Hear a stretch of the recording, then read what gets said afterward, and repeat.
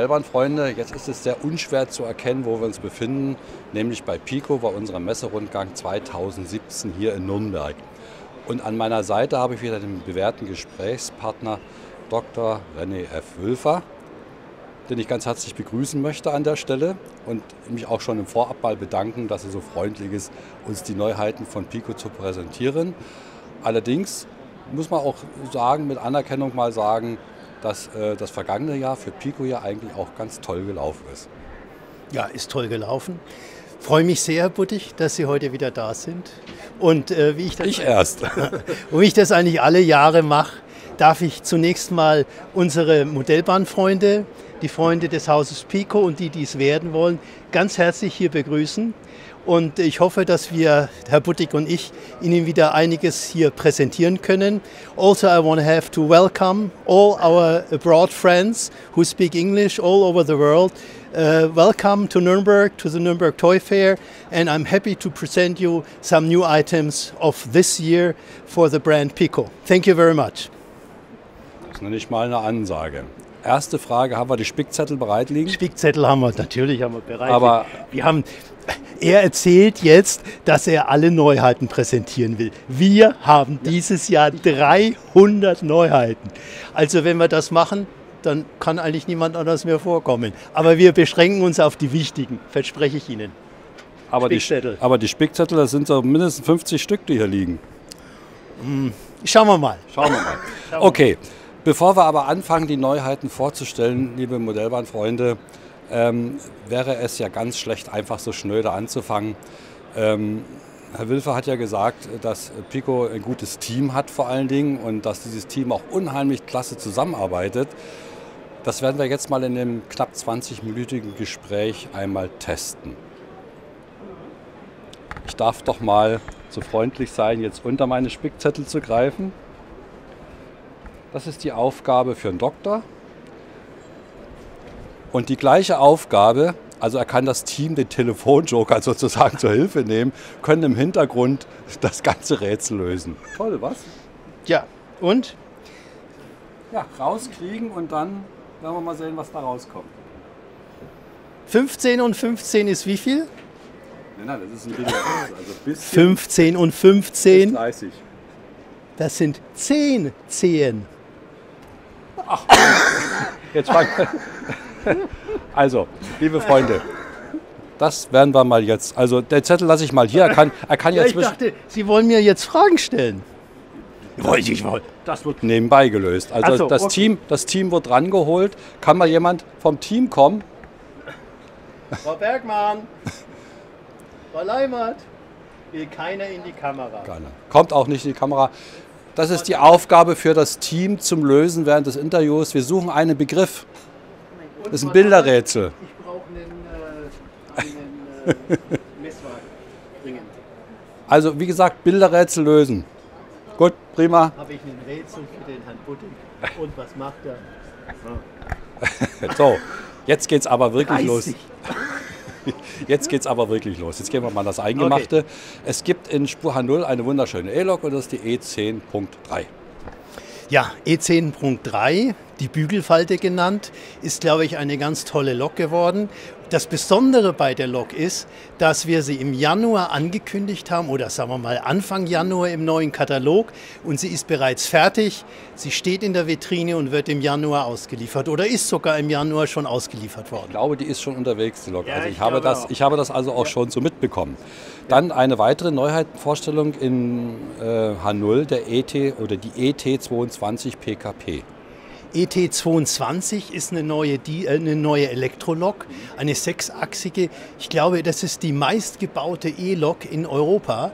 Und äh, unsere polnischen Freunde, äh, die sind schon ganz heiß auf dieses Ding. Steht auch schon da, ist fertig, also noch nicht ganz fertig, aber man sieht also schon alle Details, die feinen Stromabnehmer, die tollen Lampen vorne und äh, die wird wieder mit einem Plux 22 ausgestattet.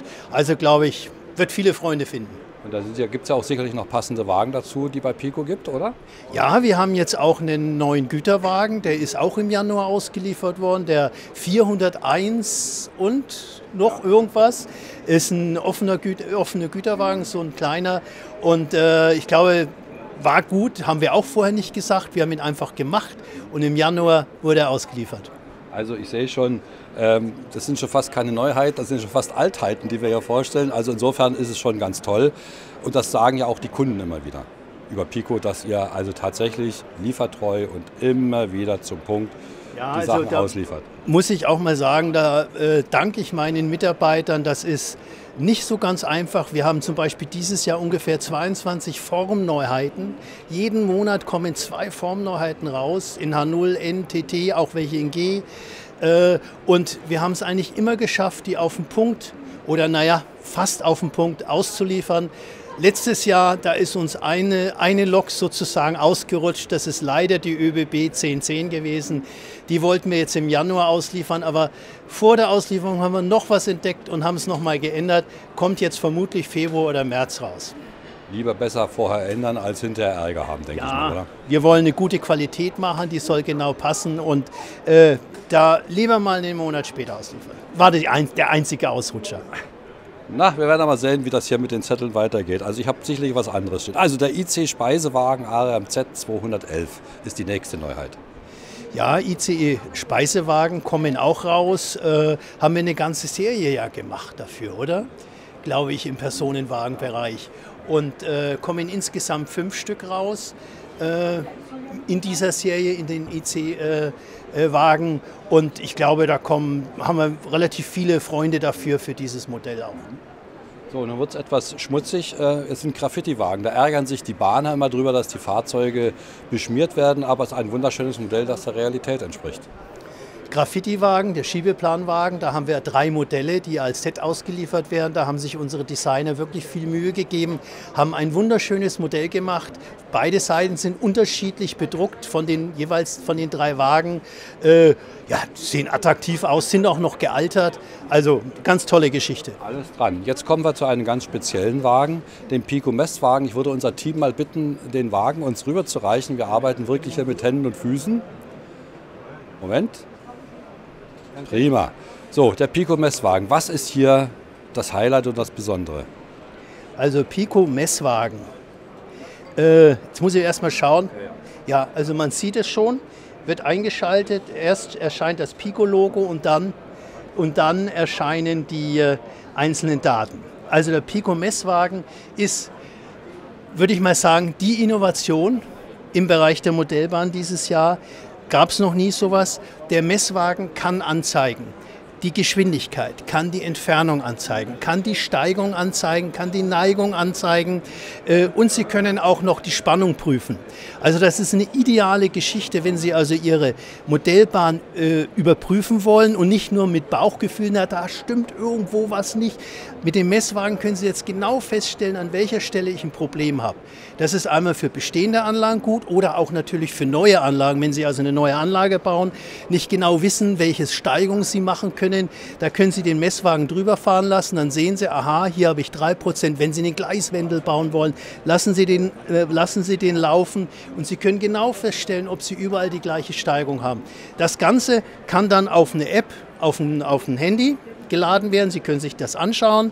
Sie haben auch die Möglichkeit, über ein Programm das auf den Computer zu bekommen, können das dort abspeichern. Und was, sagen wir mal, für Freaks hochinteressant ist, Sie werden auch die Möglichkeit haben, digitale Steuerungen äh, sichtbar zu machen. Also zum Beispiel, wenn Sie F6 drücken, dann zeigt er Ihnen in einem bestimmten Menü, zeigt er Ihnen an, F6 ist als äh, Signal angekommen. Wenn also zum Beispiel die Lok nicht darauf reagiert, hat eine elektrische Kupplung, geht nicht. Schaue ich mal nach, aha, Signal ist angekommen, also liegt es an der Kupplung und nicht an dem Signal. Das sind alles so Geschichten, die, die wir jetzt in unserer neuen Elektronikabteilung hier eingebaut haben und ich glaube, dass wir da einen ganz tollen Wagen haben, der also für viele, viele interessant wird. Clubs werden begeistert sein davon. Kann ich mir vorstellen. So begeistert wie Sie sind, denke ich mal, dass das auch ein tolles Stück ist. Das ist eine gut, super, ja, super ja. Geschichte. Ja. So, nun wird es etwas größer. Ähm, es wird eine BR 118 angeboten von Pico. Die Teil, feines Teil, feines Teil. Ja, also wir waren, äh, einmal waren wir sehr erfolgreich mit der BR 132, die ja letztes Jahr rausgekommen ist. Und, äh, obwohl wir natürlich eine ganze Menge Gartenbahnfreunde haben, die gesagt haben, ja, warum bringt ihr denn nicht auch mal wieder was für den westdeutschen Markt und jetzt kommt ihr schon wieder mit einem DR-Modell raus. Aber die 118 ist einfach so eine tolle Lok, so eine tolle Diesellok äh, und wir haben uns gedacht, die müssen wir einfach mal machen und äh, ja, da steht sie. Wunderschönes Modell, muss Danke. man wirklich sagen. Also Ja. ich denke, der wird auch wieder sehr reißend äh, also Absatz finden. Aber das sind einfach Kultlokomotiven und ich denke, das ist. Die Ja, Modellbahner werden happy sein. Ich glaube auch. Ja. Ich glaube auch. Ja, ähm, dann haben wir noch eine Diesellok, die BR 102.1. Das ist eine TT-Lok.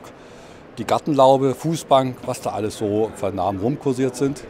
Ja, die 102, äh, die Gartenlaube, die haben wir jetzt auch äh, ins Programm aufgenommen. Im TT-Bereich wird äh, schön detailliert sein, ist eine Kultlok auch. Und äh, ich glaube, wir werden hier relativ viele Freunde mitfinden. Man muss auch dazu sagen, die gibt es aber auch schon H0.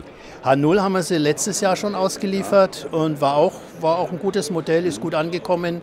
Äh, hat, äh, TT ist natürlich ein bisschen kleiner, hat ein bisschen weniger Platz, äh, wird mit Sound schwierig sein, äh, aber äh, ich glaube, die fährt auch so ganz gut. Aber trotzdem ist es beeindruckend, gerade bei diesem kleinen Modell muss ich sagen, was mich immer beeindruckt, dieses hintere, ähm, na, wie sagt man, Laufgitter, wenn man zum Fahrerhaus rauskommt, das ist auch noch freistehend bei TT, ist ja unglaublich. Ja, also wir, unsere Entwickler sind da schon ziemlich gut und äh, das Anspruchsniveau ist in den letzten Jahren im Hause Pico gestiegen und natürlich auch bei unseren Kunden und das wollen wir auch befriedigen. Also kann ich nur bestätigen, die Lok ist wirklich dufte. So, dann gibt es die Baureihe 247 Vectron, die Diesel Vectron. Äh, Die Diesel Vectron äh, haben wir, glaube ich, auch. Wann, wann kommt die denn raus? Ist die jetzt schon rausgekommen oder kommt die erst? Ist, glaube ich, schon unterwegs, die Diesel Die ist, glaube ich, auch Ja, schon die unterwegs. unterwegs, Also wir ja. bringen die ja mit diesem, mit diesem, Le mit diesem äh, Leopard. Leopard, Ja. der vorne äh, lauter elektrische Teile hat und hinten dann in, in, in, riesen Ausläufer. in den normalen äh, Leoparden übergeht. Man kann darüber streiten, ob das schön ist oder nicht, aber der Druck ist toll geworden, sieht super aus. Ja, gefällt mir persönlich sehr gut und ich glaube, wir werden da auch viele Freunde finden. Bei der Vectron sowieso, bin ich mir ganz sicher. Ja, glaube ich auch. So, äh, last but not least, wir haben noch eine Dampflok, die Baureihe 82. Darf ich helfen mit der Artikelnummer? Steht nicht auf dem Spickzettel. Keine Ahnung, das ist die N82. die BR82. Äh, eine Wunschlok von vielen N-Bahner hat es bisher noch nie gegeben. Wir haben ganz am Anfang, als ich Pico gekauft habe, da im 92 sind wir, glaube ich, 93 oder 94 sind wir mit der H0, mit der BR82 damals rausgekommen oder 95, ich weiß es nicht mehr ganz genau. Ja, bis heute hat sie noch niemand gemacht. Und jetzt haben wir sie an, in Angriff genommen. Äh, Sie sehen die ersten, die, erste, die ersten Abspritzlinge, sehen Sie nachher, können Sie sich mal anschauen. Äh, Ich bin begeistert von der Detailtreue her, von der, von der Feinheit der Leitungen und den Aufstiegsleitern. Sie haben einen Durchblick durchs Führerhaus. Eine super Lok geworden. Äh, Also auch Nicht-Bahn, N-Bahner werden, werden einfach äh, hin und weg sein von der tollen Lok. Erstaunlich aber, dass die Lok noch niemand in Angriff genommen hat. Das wundert mich jetzt doch. Ja, nun, äh, es ist eine DB-Lok. Also ich meine, es gibt ja einige Firmen, die durchaus im Bereich der DB was machen. äh, keine Ahnung, weiß ich nicht. Wir haben es gemacht. Das ich ist ganz, die Hauptsache. Finde ich ganz großartig, dass ihr das macht. Jetzt müssen wir aber mal hintenrum gucken, wie weit das Team schon ist mit. Sie rätseln noch, sie rätseln noch, sie rätseln noch. Finde ich ja ganz große Klasse. Machen wir weiter. Liebe Modellbahnfreunde, Moment. Jetzt hat er mich komplett aus dem Konzept gebracht. Ich bin fix. so. Ich bin fix und fertig. Ja, ich habe es gelöst. Was war? Hat er einfach aus Alles seinem, gut, alles gut. aus seinem Blatt alles vorgelesen. Äh, liebe Modellfreunde, ich muss jetzt erstmal unterbrechen hier an der Stelle. Ihr Team ist spitze. Danke. Warum? Haben Sie die Aufgaben gelöst? Die haben die Aufgabe gelöst. Bin fix und fertig. Super. Mein Team versucht immer, alle Aufgaben zu lösen. Das kommt letztendlich auch unseren Modellbahnfreunden zugute, dass wir gute Qualität zu einem guten Preis ausliefern. Und das begeistert eigentlich jeden. Herr Buddig, ja. hm? ja, aber wieso? Zustimmung. Ja, Zustimmung. Ja, aber wieso, wieso jetzt steht hier auf dem Spickzettel mehr als ich hab's Ja, gewusst? Er hat, hat natürlich was ganz was Tolles, hat er nicht erwähnt.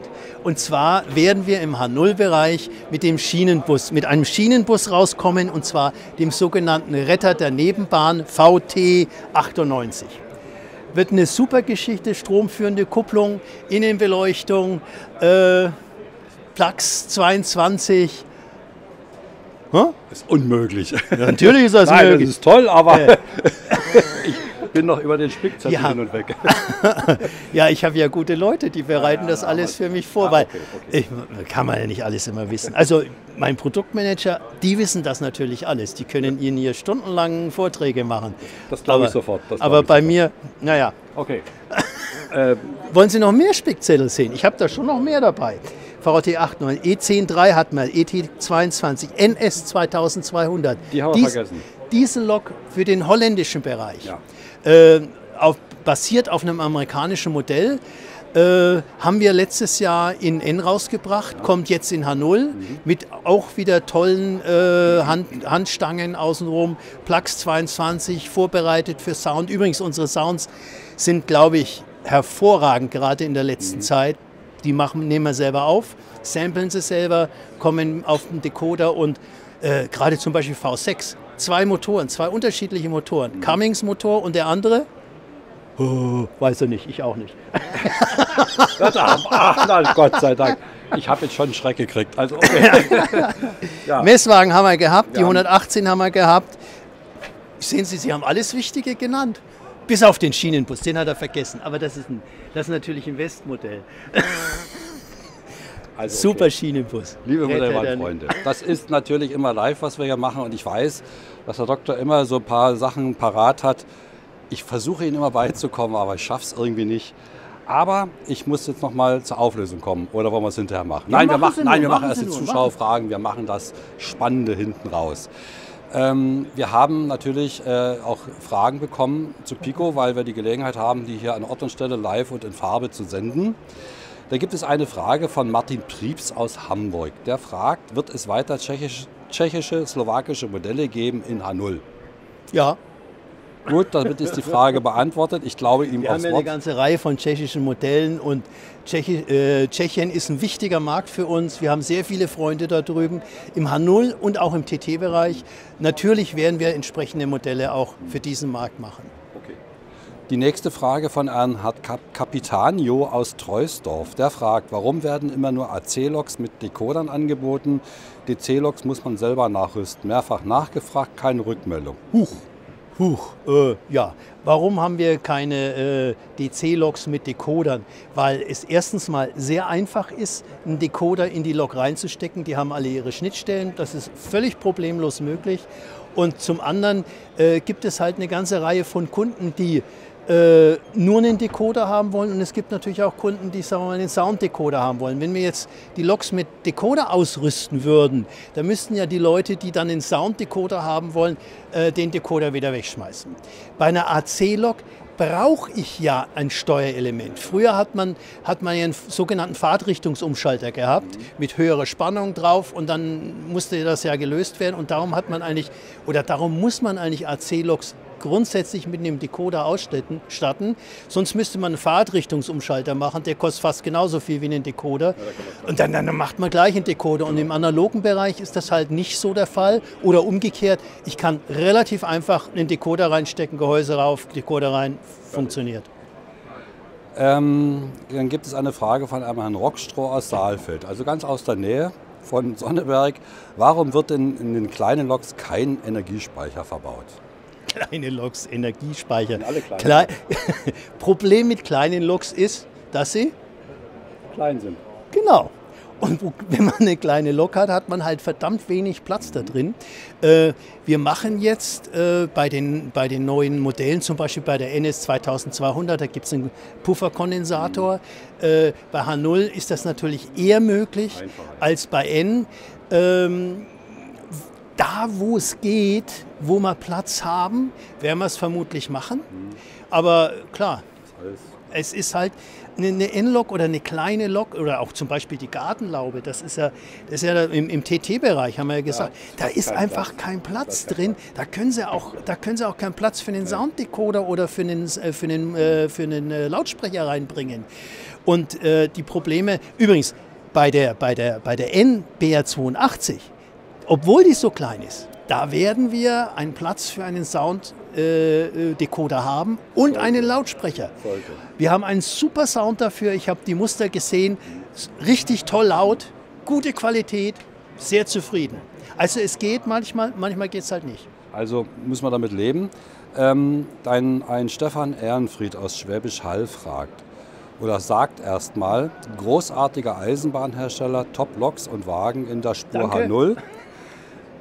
Wenn, das soll nicht wann heißen, wann kommt die Tiger-Trommel BR 120 der Deutschen Reichsbahn? Es gibt auch noch ein Jahr 2018 und ein Jahr 2019. Sehr diplomatisch geantwortet, also aufgenommen. Okay. Ein Philipp Möller aus München fragt, könnte der Talent 2 als Werdenfelsbahn herausgebracht werden? Ja. Da werden wir durch. okay. Also, Herr Philipp Möller aus München, kurze, knappe Antwort. Wir sind ja auch jetzt fast durch. Nun möchte ich natürlich auch ähm, das Rätsel lösen. Ich, meine, ich bin jetzt mal ganz fair. Der Doktor hat keine Zeit gehabt, mit mir hier bei dem Gespräch äh, das zu machen, aber das Team hat wunderbar gearbeitet. Er darf es auch vorlesen. Pikolöchen. Pikolöchen. Alles die kleine Pico. In N, BR82, Pikolöchen, neuer Spitzname. Super, toll. Ohne Fleiß kein Preis. Oh. Ein Pikolöchen. Aber den kann ich jetzt nicht aufmachen, der ist warm. Ja, stellen wir in den Kühlschrank, trinkt was später. Wenn ich den jetzt aufmache, Dusche haben wir keine hier. Nee. Klebt dann alles. Macht's später, wenn es kalt ist. Ja. Es war wie immer eine große Freude, bei Pico Gas zu sein. Wir müssen uns jedes Mal was einfallen lassen. Wir werden ja getrieben von den Zuschauern, die erwarten von uns immer was. Der Doktor lässt sich was für nächstes Jahr einfallen und ich auch. Vielen Dank, Herr Buttig. Vielen Dank fürs Zuhören. Ich wünsche Ihnen ein schönes Modellbahnjahr mit Pikolöchen. Prost! so, liebe Zuschauer, das nochmal von mir zum Schluss. Sämtliche Neuheiten finden Sie natürlich auch auf den Webseiten von Pico und natürlich auch bei modellbahnshop-lippe.com und dort können Sie übrigens auch diese hervorragenden Modelle äh, bestellen. Ich bedanke mich ganz herzlich, lieber Doktor, bis zum nächsten Mal. Herr Puttig, vielen Dank, schönen Tag noch. Tschüss.